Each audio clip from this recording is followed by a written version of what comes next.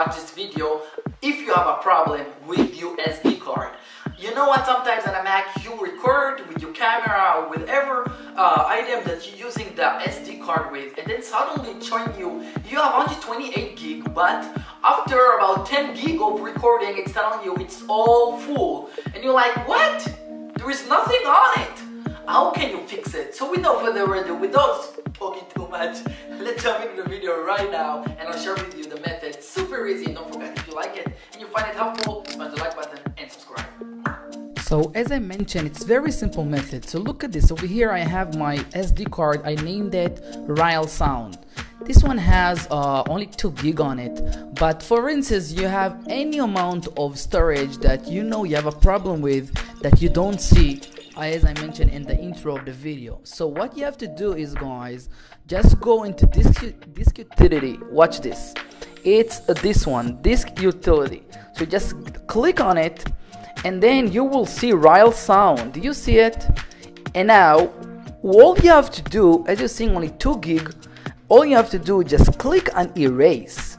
And now what you must know before doing it, you can name it as the name you really like it to be.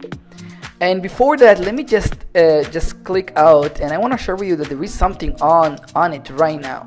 Let's just see right now. We have stereo and we have sounds that I recorded on this uh, SD card. Okay, now let's go back fast to the disk utility and then go to Rael Sound and then click erase and now after I, I do like the, to leave the name Rael Sound. But over here on the format you must change it to MS fat. Fat whatever you gonna how you call it pronounce it. Click on it and then MS does the OS and then FAT and then you click erase.